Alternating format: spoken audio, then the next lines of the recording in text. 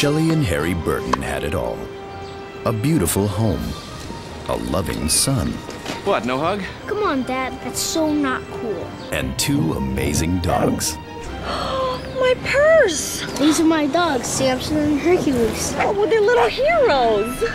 But when Harry is called upon to testify in Washington, There were other witnesses that work for the tobacco company. Why don't they testify? We're talking grand jury here. I have to go. That's him.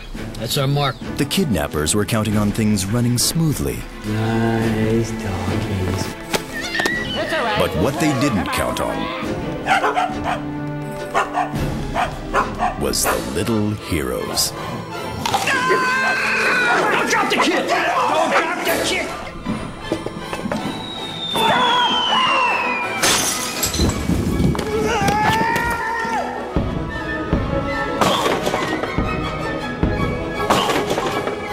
It's man versus canine. It can't be that difficult. We gotta get organized.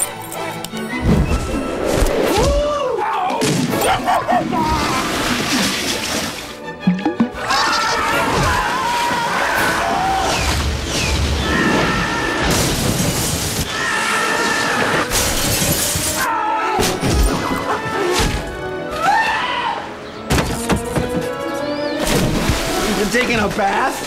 No. I've been doing a water ballet.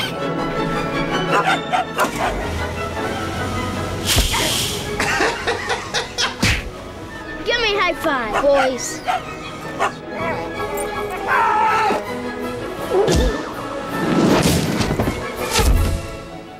Ah! What are you looking at? I'm not scared of you. I want this operation run like clockwork. All we need is a witness's cooperation.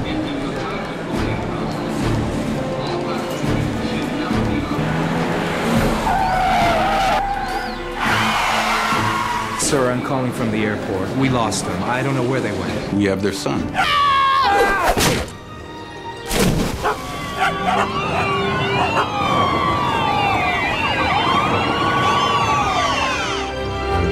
Little heroes.